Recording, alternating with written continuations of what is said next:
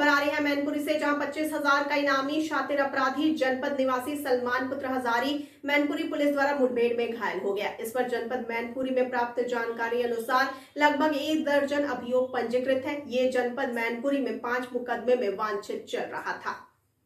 अभी अभी थोड़ी देर पहले थाना कुरावली पुलिस की और हमारी एसओजी टीम की एक बदमाशों से मुठभेड़ हुई है। इसमें ये लोग चेकिंग कर रहे थे, इनको सूचना थी बदमाश के आने की। चेकिंग कर रहे थे तो एक मोटरसाइकिल पे दो बदमाश आते हुए दिखाई दिए। जैसे ही इन्होंने रोकने का प्रयास किया, वो बदमाश फायर करते हुए पुलिस पार्टी के ऊपर भागने का प्रयास किए हैं।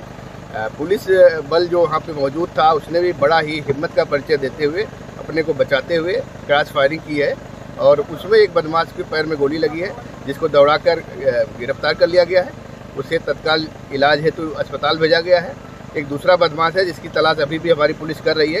वहाँ पे आसपास जो नहर के किनारे और जो बबुल के पेड़ है, उसमें उसकी तलाशी हो रही है। और ये इस बदमाश के बारे में जानकारी मिली कि इसका नाम सलमान है। ये बहुत ही शातिर किस्म का बदमाश है। ये बेसिकली पशु चोरी की घटना करता है, गाड़ियों को भी चुराता है। चोरी की गाड़ियों में पशु चोरी और मवेशी चोरी की घटना करता है। सात से आठ मुकदमों में वांछित चल रहा है। इसमें पच्चीस हज़ार का इनाम पुलिस अधीक्षक मैनपुरी द्वारा घोषित है।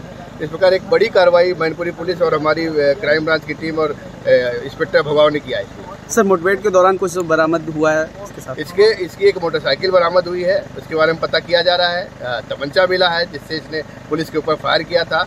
ज़िंदा कारतूस और खोखा कारतूस मिला है मौके पे।